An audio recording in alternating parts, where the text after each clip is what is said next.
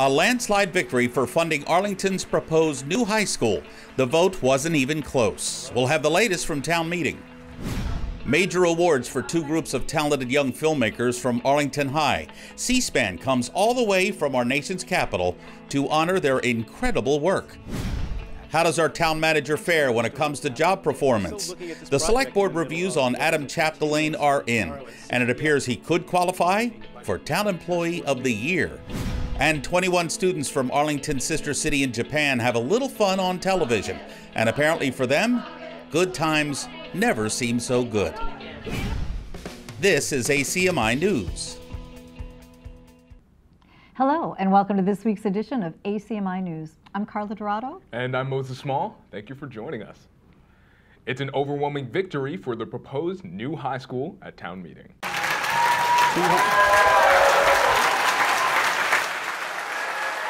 We have an affirmative vote, 208 in favor against 10 against. It, the vote carries. Representatives voted 21 to 1 in favor of funding a new Arlington High School. The landslide decision followed a presentation by the High School Building Committee showing an animated fly-through of the proposed building. The Arlington State delegation was also there with Senator Cindy Friedman. She said, if funding for the new school gets voted down, Arlington would likely pay the entire cost. No town has ever been offered funding again after backing out of the state's school building authority process. Proponents touted the building's flexibility and open learning's commons area. Others criticized the loss of the 1915 Fusco House, exterior columns, and clock tower. Historic preservation gives life and meaning to buildings, landscapes, and history that would otherwise be lost. Arlington's few remaining historic buildings and open spaces are integral to the fabric of our lives. My colleagues and I decided a new school was best for three reasons. Number one, logistics. To renovate the existing would house students in modular classrooms for an extended period of time at a cost of $5 million unreimbursed by the state. Secondly, cost. $25 million was the difference between new construction and renovation addition. Lastly, is function. Once you get past the facades, which have sentimental value to many people in this room and the community, myself included, once you get past those facades, there's no there there. By maintaining them, we would embed the inefficiencies of the existing plant into the new facility. In my view, that was unconscionable. Voters will make the ultimate decision on June 11th. They'll be asked to approve spending $291 million on the new school, with the state kicking in $86 million of the cost. After undergoing weeks of restorative justice, Lieutenant Rick Pedrini has been back on the police force for nearly a month. You might recall, Pedrini was placed on administrative leave for what Arlington leaders called irresponsible comments published in the law journal Sentinel last year. This week, Pedrini released a public apology. It reads in part, I've learned a lot from this experience about how the words I wrote created severe unintended harm. I've always strived to represent the department in a positive light and never to bring discredit to the department. In this case, I failed to do so, and I'm deeply disappointed in myself. I take full responsibility for my actions. Pedrini is now working under the supervision of Acting Chief Julianne Flaherty, who is responsible for enforcing the terms of Pedrini's return. You can find the full apology on the Arlington website, arlingtonma.gov. Arlington had a high-ranking visitor at police headquarters this week, and he's giving Arlington's law enforcement community high marks. U.S. Surgeon General Jerome Adams marked National Drug Take Back Day, a biannual event aimed at providing residents with easy ways to discard expired or unwanted prescription drugs. For years now, Arlington's police department has served as a national model for community policing and its more compassionate approach to drug enforcement. The force is among the first in the nation with an opiate outreach initiative, an approach allowing police officers to get directly involved with the heroin and opioid crisis. The Surgeon General commended Arlington Police for working with known substance users, their loved ones, and the community.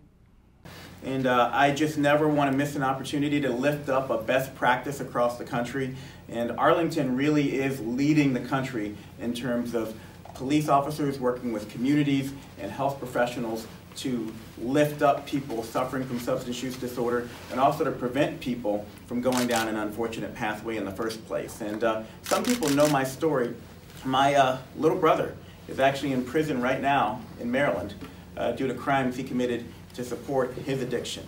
And I often think if only he'd had resources available to him, like the resources that Arlington Police Department are making available to people in Massachusetts, uh, maybe he wouldn't have been in the unfortunate situation he's in. The Surgeon General says 80% of the nation's heroin users started out using prescribed opiates, and that many of them came from someone else's medicine cabinet. Town manager Adam Chapdelaine isn't going away anytime soon. He recently got rave reviews from the town select board. ACMI's Jeff Barnes talked to Mr. Chapdelaine about his outstanding grades from town leaders. No doubt the town of Arlington has undergone some major changes in recent months. The controversy over the debt exclusion for the new high school and the override to keep Arlington progressing. The bus rapid transit program along Mass Ave. The untimely passing of a select board member and the recent election of a new face in the town's executive branch. All this under the tutelage of town manager Adam Chapdelaine, who answers to the select board. Last month, the select board gave superior reviews to Adam Chapdelaine here at Town Hall. Now, Adam Chapdelaine first had to give a self evaluation to the select board, and then after that, the select board submitted individual reviews on qualities that it was looking for in a town manager. Things like operational leadership, public relations, financial management, and even personal characteristics. The select board could score anywhere between one and five, five, of course, being excellent. And in the end, Adam Chapdelaine received a score of 4.7 out of five from Arlington Select Board. feel good, and it's good to know that they like the job that I'm doing, and they hopefully want to keep me around. That's already a given. Arlington's town manager signed a three year contract earlier this year. Select board members say Arlington is fortunate to have such a competent manager. Overall, we all feel you, you know you're the perfect five, um, but uh, I, I agree with you that it's nice to maybe not so much I wouldn't say criticism, but just areas where myself individually I feel like um, there's something more I needed, and you know what what did I not do that you needed to hear? To, so it's reciprocal. So They also have some uh, critical feedback, which helps me continue to get better, and I appreciate that as well. But I think most importantly, uh, it's a team effort. Uh, I get to be the person that sits in the room and works with the select board every other week and then speak a lot before town meeting. But we're blessed here with a great team of department heads and a great staff right down to the lowest levels who work hard to try to do what they can for the people of Arlington every day. Adam Chapdelaine's current contract runs for the next three years through February 2022. For ACMI News, I'm Jeff Barnes. The Arlington Center for the Arts is losing Linda Shoemaker, the ACA's executive director for the last 16 years. On the ACA website, the board of directors expressed nothing but gratitude for Linda's unparalleled guidance and leadership since 2003. She has played a critical role in the development and success of the ACA. Under Shoemaker, the arts facility found a beautiful new home in the center of Arlington. Shoemaker led a successful $1 million capital campaign for the ACA, and it was during this time ACMI News talked to Linda about artistic expression, why art is so important to a community, and the individuals it serves. You know, I feel like what artists can do for us is really help us think more broadly, more deeply, to feel into the experiences of other people and other cultures.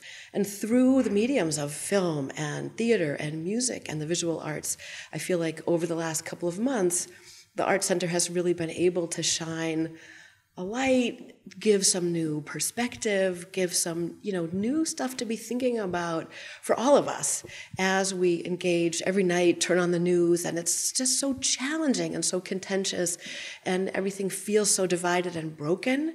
But what I see as the artists come together and really talk and reflect and share their work, there's so much positive, there's so much good, and the artists really have helped us to see that. In the upcoming months, the ACA board will conduct a search for a successor. Linda Shoemaker will be leaving in mid-June. The cable satellite public affairs network, better known as C-SPAN, held a contest for young filmmakers. Three groups of filmmakers from Massachusetts received honorable mention, and two of these Bay State groups attend Arlington High School. I was at Arlington High when these students received the gold, and who knows, this may be the first step to an Oscar. Imagine winning a National Film Award before graduating high school. That's what happened to four Arlington students who won recognition in the C-SPAN Student Cam competition. C-SPAN holds this contest every year to celebrate young movie makers, and it highlighted two student films made in town.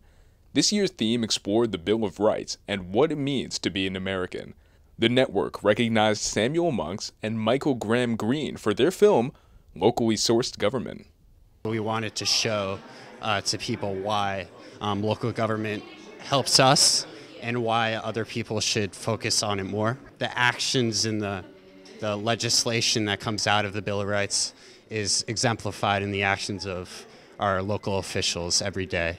C SPAN judged 3,000 student films from 48 states and about 3% of them won honorable mentions. Local government officials like State Congresswoman Katherine Clark came to honor the filmmakers. Michael Graham Greene thinks these films are important because they highlight the ways local government affects daily life.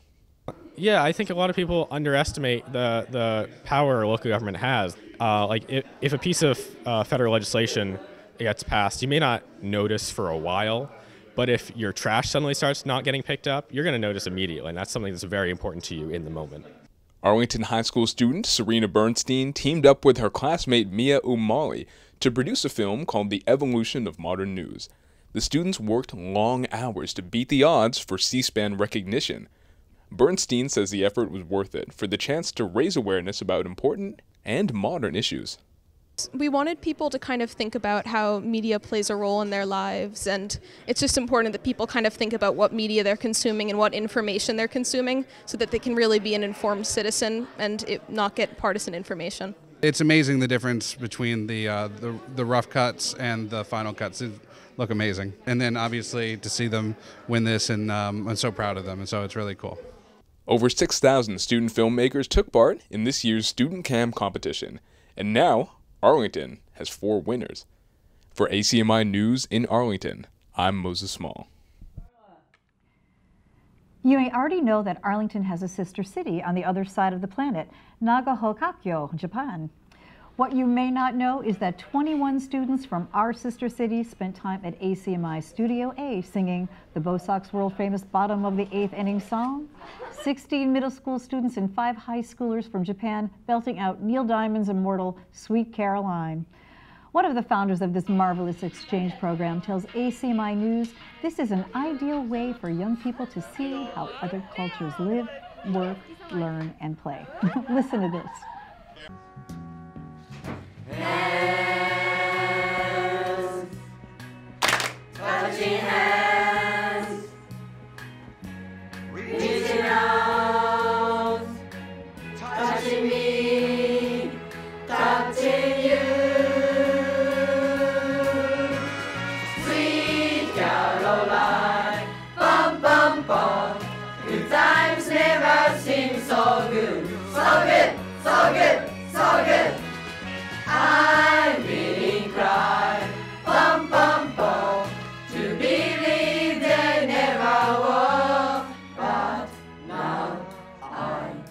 Think they've never been to the TV studio uh, before. Even in Japan, it's very difficult to enter. Okay, so um, this is the, the first experience for all of them.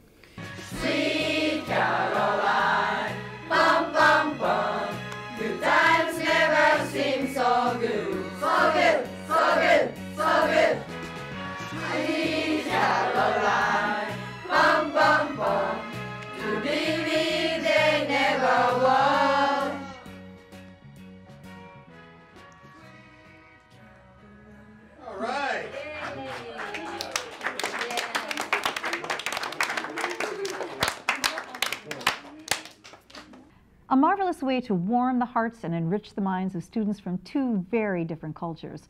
Programs like this cause everyone to realize we have so much more in common, even though some of us live half a world away.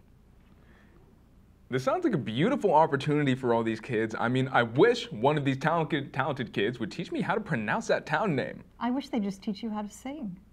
I could do both. you could, I'm sure you could. Coming up on the other side of the break, what better way to celebrate a rain date for Earth Day, which actually took place last month? Arlington High students celebrated our third planet from the sun, despite some cloud cover. Everyone had an organically splendid time. We'll take you there next. Stay with us.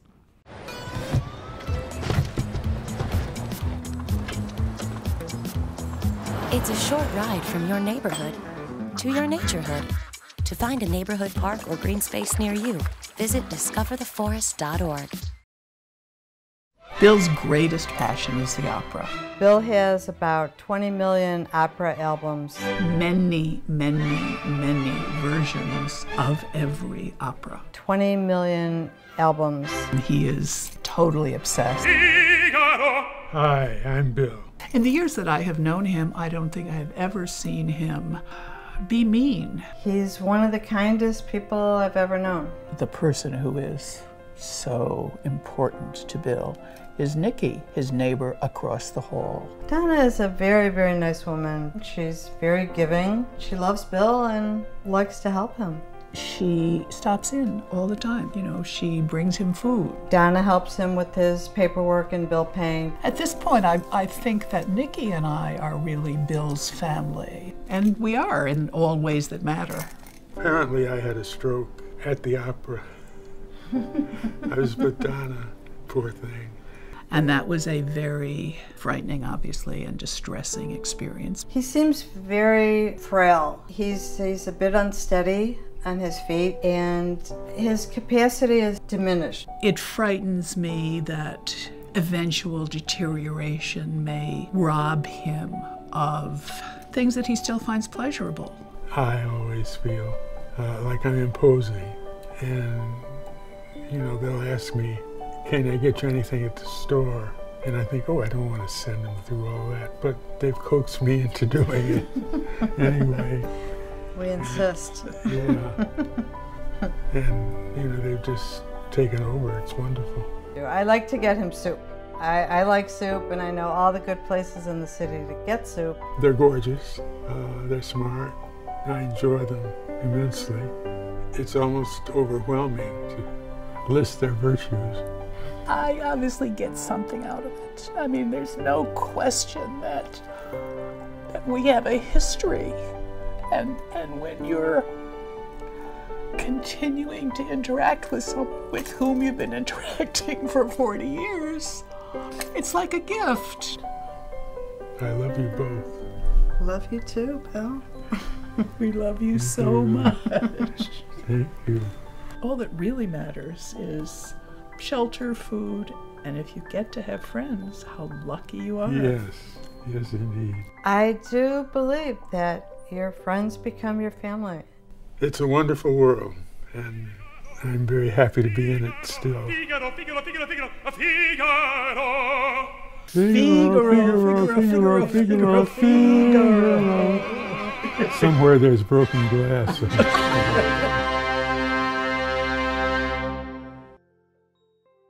Students at Arlington High are celebrating sustainability. Earth Day was last month, but surprise, the Earth's propensity for rain caused Arlington High to postpone the festivities until this week. This is Arlington High School's Earth Day Fair. There were ping pong matches, badminton games, even croquet, and several exhibitors were on hand as well, all celebrating the natural wonders of this marvelous planet. We wanted to celebrate Earth Day, um, which occurred last week, um, but this was a good day that we could reschedule it to. And um, we invited all the environmental clubs to be a part of it. So the Sustainability Club, the Save Club, and the Zero Waste Advisory Group, all um, student-run groups here at the high school that promote different various sustainability initiatives. Rachel Oliveri says we can expect another AHS Earth Day Fair in 2020 since turnout this year was good. A lot of spring activities taking shape at Arlington High this week. Here's Sagar Rastogi with this week's Ponderscope. Welcome to the Ponderscope, your Arlington High School news, updates, and more. This weekend, Arlington High School will be holding their annual Pops concert at Town Hall. This year, the theme is Movie Night and will include theme songs from various classics such as Avengers, Harry Potter, Star Wars, and more. The performances will be on Saturday at 7 p.m. and Sunday at 2 p.m. The concert will feature a variety of AHS musical groups, including orchestra, band, chorus, honors orchestra, jazz band, and the Madrigal Singers. Tickets will be sold at the door for $10 and there will be refreshments available as well. AP exams will be administered beginning next week from May 6th to May 10th and from May 13th to May 17th. Make sure to visit the College Board website for the exam schedule and further details. If you have any questions or concerns, contact Mr. Thornton in the Collomb House office. The annual Arlington High School Talent Show will be held on Friday, May 17th in the Lowe Auditorium from 7 to 9 p.m. All students and faculty are invited to perform. The sign-up link is posted on the Daily Post and has also been sent to your Spy Ponders email. The deadline to register is next Wednesday, May 8th. The National Honor Society is organizing a book drive for the African Library Project to help a primary community library in Kenya. They're looking for donations of your new or gently used books or monetary donations. The drive will be run all throughout the month of May. Collection boxes will be located in the AHS main lobby and at each of the elementary schools. For more information, visit AfricanLibraryProject.org. I'm Sagar Rastogi, and this has been the Ponder Scope. A lot of Spy Ponder sports action. Here's Nick Antonakis with this week's ACMI Sports Update from Studio B.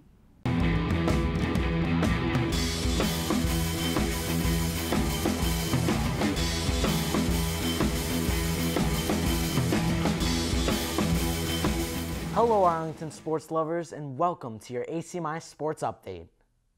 The athletics department at Arlington High School hosted an incoming freshman information session for students and parents earlier this week. Attendees were welcomed by faculty, coaches, and current Spy Ponders captains to discuss the positive impact of high school athletics, as well as what it takes to be a successful young athlete. Registration for the fall season begins on May 28th and ends on June 21st. If you're interested in joining a Spy Ponder team in the fall, be sure to head to the Arlington Athletics page when the registration opens to begin the process. Coming up in next week's home matchups, on Tuesday, May 7th at 4 p.m., you can find boys volleyball going up against Lincoln Sudbury and boys tennis against Wilmington. Over on the field, boys lacrosse will take on Wilmington at 4:15.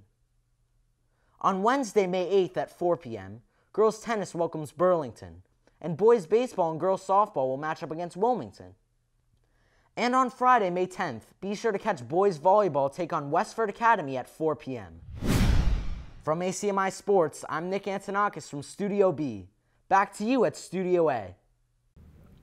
And of course, stay with us for all your latest news and sports updates. That'll do it for us here in Studio A. Thank you so much for joining us. My name is Moses Small. And this is Moses' last newscast with us here at ACMI. And I'm very thankful for this experience, not only for wonderful people like Carla sitting right beside me, but everyone behind the camera who you may not see directly in this production. Mm. Well, I'm Carla Dorado, and I'll see you next week. You can always check out our latest segments and newscasts on the web at acmi.tv slash news. And don't forget to like us on Facebook and follow us on Twitter and Instagram at ACMI News. If you have any news tips for us or you wish to become a citizen journalist, we'd love to hear from you. Email us at news at acmi.tv or stop by our Studio A at 85 Park Avenue.